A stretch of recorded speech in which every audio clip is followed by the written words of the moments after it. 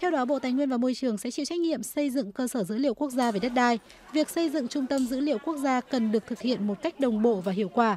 Việc di chuyển hệ thống công nghệ thông tin về trung tâm dữ liệu quốc gia sẽ được thực hiện theo lộ trình đã thống nhất với Bộ Công an, bắt đầu từ quý 2 năm 2025. Việc xây dựng cơ sở dữ liệu quốc gia về đất đai sẽ giúp thị trường minh bạch và lành mạnh hơn, hạn chế những rủi ro tiềm ẩn khi thông tin gây nhiễu đang ngày càng tràn lan, khiến người dân chịu thiệt.